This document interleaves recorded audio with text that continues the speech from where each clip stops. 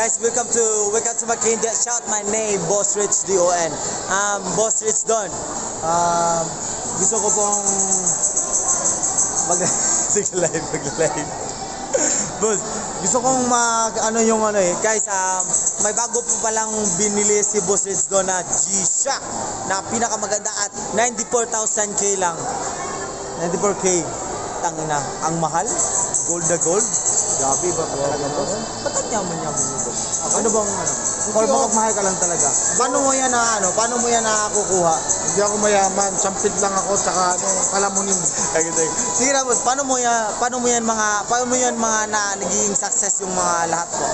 Kailangan, mapag, kailangan hindi ka naninira ng tao, hindi ka nang uh, lurak, no, hindi ka nalalait, kailangan friendly ka at mapagmahal ka sa kapwa mo. Oh, at saka pang, balita ko, ngayon bukas na tayo lalarga ng Torya. Oo, kaya bumili niya ako ng bago juice ako, pang Korea.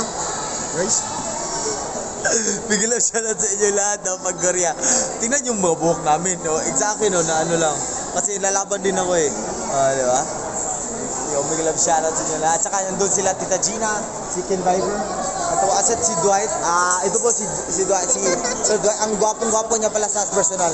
At saka si si Ken Viber ang gwapo din sa personal. Saka si Tita Gina. Hi! Yun lang po. Yun lang, update lang ko lang naman sa inyo kasi bukas we're gonna go to Korea. Hi! Salamat jowa. Okay, pero may jowa na ako. Sorry guys.